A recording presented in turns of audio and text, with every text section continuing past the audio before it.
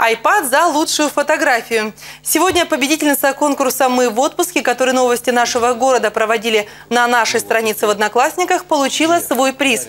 Напомню, за фото Аллы Стукальской проголосовало более 4 тысяч человек. Компания Bosch Автосервис поздравляет победителей конкурса «Мы в отпуске» и дарим iPad mini. Поздравляем! Спасибо большое за такой приз, очень хороший. Спасибо за конкурс. Мы рады были очень поучаствовать в нем и будем еще участвовать в конкурсах.